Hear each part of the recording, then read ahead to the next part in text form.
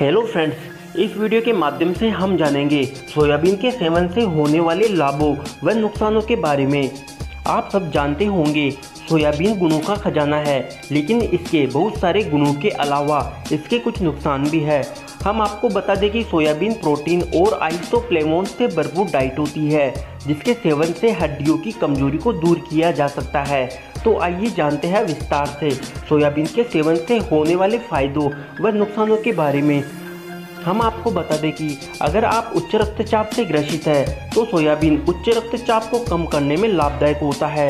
महिलाओं के मासिक धर्म बंद होने से घुटनों में दर्द, पेट का भारी होना, कमर में दर्द होने लगता है। इस स्थिति में सोयाबीन का सेवन इस समस्या को खत्म करने के लिए लाभदायक होता है। हम आपको बता दें कि सोयाबीन से बना दूध व रोटियाँ गठिया रोग के दर्द को जड़ से खत्म करने के लिए जानी जाती है।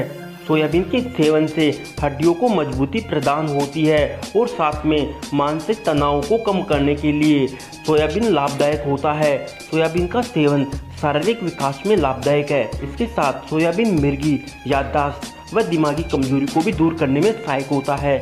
हम आपको बता दें कि मधुमेह रोगियों को सोयाबीन के सेवन से मूत्र संबंधी समस्या से राहत मिलती है।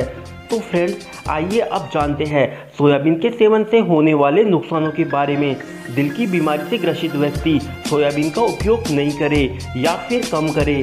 सोयाबीन के अधिक सेवन से शरीर में एस्ट्रोजन की मात्रा बढ़ जाती है। सोयाबीन के अधिक सेवन से वज़न में बढ़ोतरी होती है। हम आपको बता दें कि सोयाबीन में ट्रांस फैट होता है, जो कि हाई कोलेस्ट्रॉल को बढ़ाता है।